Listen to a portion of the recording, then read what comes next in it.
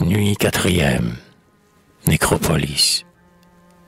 Voici ce qu'un jeune squelette me dit les bras croisés, debout dans son linceul, bien avant l'aube violette, dans le grand cimetière où je passais tout seul.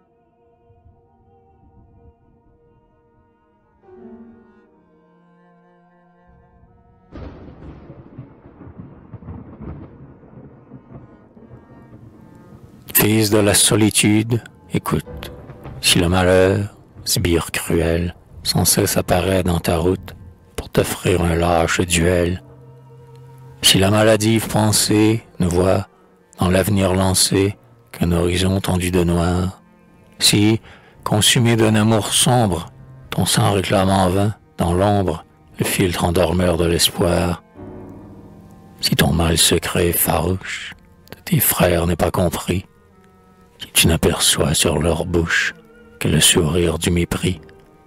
Ici, pour assouplir ton âme, pour lui verser un doux dictame, le destin joli et rigoureux t'a pris dans ton insomnie, jeter la lyre du génie, hoché à des grands cœurs malheureux. Va, que la mort soit ton refuge, à l'exemple du Rédempteur, ose à la fois être le juge, la victime et l'exécuteur. Qu'importe si des fanatiques interdisent les saints portiques à ton cadavre abandonné. Qu'importe si, de mille outrages, par l'éloquence des faux sages, ton nom vulgaire est couronné.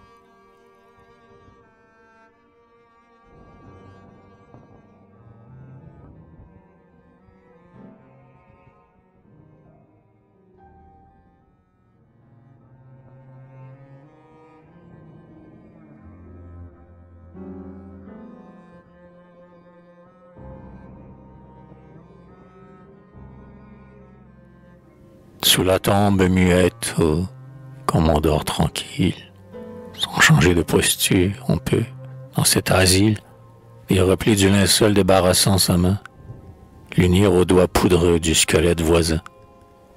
Il est doux de sentir des racines vivaces coudre à ses ossements leurs nœuds et leurs rosaces, d'entendre les hurrahs du vent qui courberont les arbustes plantés au-dessus de son front.